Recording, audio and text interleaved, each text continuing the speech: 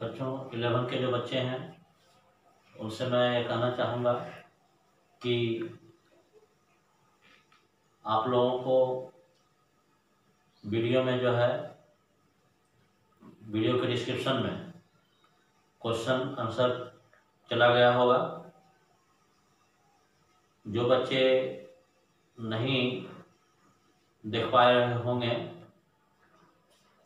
तो मैं एक वीडियो बनाया हूँ कि universal spoken universal English spoken centre का जो लिंक है, उसमें जो वीडियो है क्वेश्चन कैसे प्राप्त करें, वो वीडियो को आप देखें तो आपको पता चल जाएगा कि डिस्क्रिप्शन कैसे प्राप्त किया जाता है। तो यह जो चैप्टर है portrait of lady eleven class के लिए है। ये वीडियो इलेवन क्लास के बच्चों के लिए है। द पोर्ट्रेट ऑफ़ लेडी यह इस चैप्टर का आप लोगों को समरी हम बता दिए वर्ड मीनिंग बता दिए लाइन बाय लाइन हम हिंदी कर दिए। अब आप लोग क्वेश्चन आंसर हम समझते हैं कि अपने नोट कॉपी में आप लोग लिख लिए होंगे। तो जो नोट कॉपी में लिख लिए हैं उसको हम एक बार दोबारा पढ़ देते हैं ताकि आपको क्लियर हो जाए कि किसका क्या मतलब है। तो आइए सबसे पहले पहला नंबर में। The writer of portrait of lady is portrait of lady नामक पाठ के लेखक कौन है? तो देखिए, चार ऑप्शन दिया हुआ है, जसवंत सिंह, खुशवंत सिंह, राजपूत सिंह और। तो इसमें कौन है बच्चों? खुशवंत सिंह, टिक लगा हुआ है। दूसरा, Khushwant Singh is the writer of the portrait of dash Khushwant Singh जो है, लेखक हैं the portrait of dash mother grand mother James lady तो क्या लगा हुआ है? लेडी में टिक लगा है lady the writer Khushwant Singh live in village with लेखक खुशवंत सिंह गाँव में रहते थे किसके साथ? पेरेंट के साथ मदर के साथ ग्रैंड मदर के साथ ग्रैंड फादर के साथ। तो ग्रैंड मदर के साथ ठीक लगा हुआ है। Grand mother went to dash with writer दादी माँ लेखक के साथ जाती थी। कहाँ जाती थी? स्कूल जाती थी, हॉस्पिटल जाती थी, सिनेमा हॉल, मार्केट, कहाँ जाती थी? तो वह स्कूल जाती थी। ठीक लगा हुआ है बच्चों। There was a dash beside school school के बगल में क्या था? पौंड तालाब था टेंपल मंदिर था, माउंटेन पहाड़ था वैली घाटी था। तो बी होगा टेंपल सिक्स में grand mother use to give bread and butter with dash in breakfast दादी माँ नाश्ते में रोटी और मक्खन के साथ दिया करती थी। ए सॉल्ट नमक बी शुगर चीनी सी दोनों डी कोई नहीं। तो बी शुगर चीनी देती थी। चीनी जो है प्रोसेस करती थी। Writer's parent went to village लेखक के जो माता पिता थे, वो चले गए थे। कहाँ? विलेज शहर सॉरी विलेज गाँव सिटी शहर मार्केट बाज़ार फॉरेन विदेश। तो कहाँ चले गए थे? इन द विलेज गाँव में। Grand mother use to feed दादी माँ, खिलाया करती थी किसको? कुत्तों को, बढ़िया पक्षी को, बिल्लियों को, कबूतरों को। तो क्या होगा? कुत्तों को dogs the writer went to foreign to लेखक विदेश गए किस लिए? टू मीट फ्रेंड दोस्तों से मिलने के लिए टू ट्रीटमेंट इलाज के लिए टू स्टडी पढ़ाई के लिए। टूर घूमने के लिए तो किसके लिए गए? स्टडी, पढ़ाई करने के लिए गए। The writer went to foreign for लेखक विदेश गए कितने सालों के लिए? तीन साल के लिए, चार साल के लिए, पाँच साल के लिए, दस साल के लिए। तो पाँच साल के लिए टिक टिक लगा हुआ देखिए बच्चों, पाँच साल के लिए। In the city grand mother use to feed शहर में दादी माँ खिलाया करती थी किसको? क्रो कबूतरों को सॉरी कौओं को, कुकुल, कोयल को, पीजन कबूतरों को, स्पैरो, गौरैया पक्षी को। तो डी में टिक लगा हुआ है, गौरैया पक्षी को। इन द टेंपल टेंपल में, मैंने मंदिर में grand mother use to read दादी माँ पढ़ा करती थी, क्या? नॉवेल उपन्यास स्टोरी बुक्स कहानी किताब स्क्रप्चर्स धार्मिक किताबें। डी कोई नहीं। तो सी वाला होगा धार्मिक किताबें grand mother use to sing दादी माँ गाया करती थी। A filmi song B Bhojpuri song C patriot song D prayers filmi song जान रहे बच्चों, भोजपुरी सॉन्ग भी जान ही रहे हैं। पैट्रियोटिक सॉन्ग का मतलब देशभक्ति गीत और प्रेयर्स मतलब प्रार्थना। तो प्रार्थना गाती होती थी। फोर्टीन नंबर में देखिए बच्चों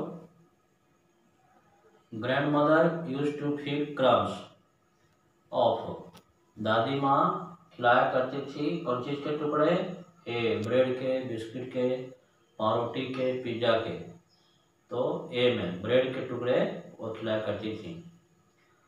This chapter focus on the relationship with writer and यह चैप्टर जो है लेखक और उनके किनके बीच जो है कि रिश्तों को बताता है बयां करता है फोकस करता है। His mother his sister his father his grand mother तो डी वाला होगा his grand mother in breakfast grand mother use to give fresh chapati to the writer नाश्ते में दादी माँ लेखक को फ्रेश रोटी देती थी। यह दिस स्टेटमेंट इज़ यह जो कथन है ट्रू है, फॉल्स है, दोनों है, कोई नहीं है। तो फॉल्स है। बासी रोटी दे दी थी। है ना बच्चों? Grand mother did not want the writer would go abroad is it true दादी भी, दादी माँ नहीं चाहती थी कि लेखक विदेश जाए। क्या यह सही है? तो नहीं। यह बात सही नहीं है। दादी माँ चाहती थी कि वो विदेश जाए, पढ़े मेरा होता पोर्ट्रेट मीन्स पोर्ट्रेट का मतलब होता है सीन दृश्य पिक्चर चित्र वैरायटी प्रकार आइडल मूर्ति। तो पी वाला होगा चित्र होता है picture school master in village वाले ऑल्सो ए जो विलेज का जो स्कूल मास्टर था, वह था एक doctor post master priest all चिकित्सक था पोस्ट मास्टर था, पुजारी था, सभी था। तो एक पुजारी भी था, है ना? स्कूल मास्टर भी था और पुजारी भी था। One grand mother happy about the learning the city school क्या दादी माँ शहर के विद्यालयों में, पढ़ाई के बारे में खुश थी? तो नहीं खुश थी। वह चाहती थी कि रामायण, गीता की बात पढ़ाया जाए। ये सब जो विदेशी पढ़ाई है, पृथ्वी गोल है तो ये वो है, वो सब ना पढ़ाया जाए। Grand mother died with grand दादी माँ मर गई। क्या करते करते? गॉसिप विथ फैमिली परिवार से बात करते करते चैंटिंग प्रेयर प्रार्थना करते करते सिंगिंग फिल्मी सॉन्ग फिल्मी गाना गाते गाते, डी कोई नहीं। तो क्या हो जाएगा? बच्चों चैंटिंग प्रेयर प्रार्थना करते करते वो मरी। In the city the writer use to go school by शहर में। लेखक स्कूल जाया करते थे। ए बाईसाइकिल से स्टेप पैदल सी कार से डी मोटर बस से। तो क्या बच्चों? डी मोटर बस से। बिफोर डेथ मरने से पहले ग्रैंड मदर हैड दादी माँ को था। क्या था? मिल्ड फीवर हल्का बुखार, कफ, खांसी कोल्ड जुकाम डी कोरोना तो क्या होगा बच्चों? ए मिल्ड फीवर हल्का बुखार था। Grandfather's portrait hung above the दादाजी का फ़ोटो टंगा हुआ था। कहाँ पर? ए रूफ पर, दीवार पर डाइनिंग रूम में मेंटल पीस पर। तो छत में भी नहीं था, वाल पर भी नहीं था डाइनिंग रूम पर भी नहीं था मेंटल पीस यानी कि अंगीठी वाले ऊपर था। ठीक है?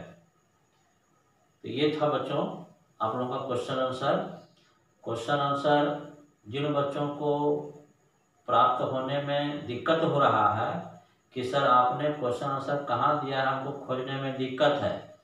तो आप सही बच्चे, मेरा फ़ोन नंबर तो आपको पता ही है। और नहीं पता है तो लिख लीजिए। Nine nine three double one, four six, nine five one. ये मेरा फ़ोन नंबर है। जहाँ आपको दिक्कत हो कि सर क्वेश्चन से समझ में नहीं आया, अथवा क्वेश्चन सर नहीं मिल रहा है तो आपसे बच्चे, कहीं कुछ नहीं करना है, डायरेक्ट हमसे फ़ोन करना है कि सर क्वेश्चन आंसर या तो समझ में नहीं आया, या तो मिल ही नहीं रहा है। कि कहाँ आप डिस्क्रिप्शन विस्क्रिप्शन हम नहीं समझते हैं तो जो भी बच्चे हैं, वह डायरेक्ट संपर्क करेंगे, हम आपकी सारी समस्या को हल करेंगे। समझ गए बच्चों? और इस प्रकार से हम देखते हैं कि हॉर्नबिल बुक का पहला chapter the portrait of lady समाप्त हो गया। अब हम लोग दूसरे चैप्टर में जाएँगे, जिसका नाम है